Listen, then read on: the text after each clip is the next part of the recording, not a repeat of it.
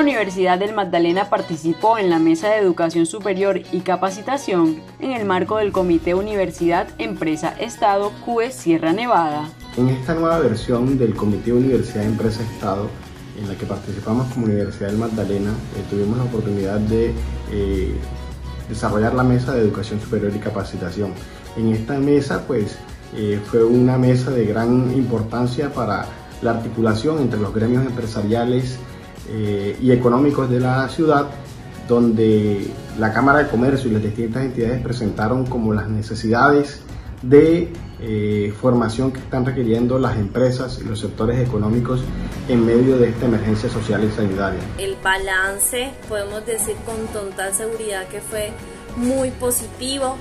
cada una de las instituciones de educación superior, universidades, instituciones técnicas mostraron su compromiso y solidaridad con la reactivación económica del Magdalena. Al igual que las demás instituciones de educación superior, la Alma Mater dio a conocer su variada oferta académica que puede ser implementada para lograr la reactivación de las ventas, el trabajo seguro, la alfabetización tecnológica y digitalización del sector empresarial en el Magdalena que se ha visto afectado por la pandemia. La Universidad del Magdalena presentó su oferta académica al igual que lo hicieron las demás instituciones de educación superior y de capacitación y creemos que